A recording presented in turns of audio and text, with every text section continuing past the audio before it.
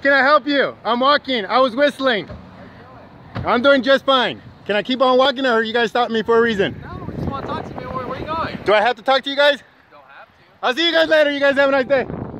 Wait a minute. I'm going in the wrong direction. Okay. You got- Your yard right there. That's private property, man. I shall get off right now immediately. On the sidewalk. Thank you very much. Right. Hey, can I ask you something? Why did you guys pull over? We just want to talk to you. You guys have a nice day.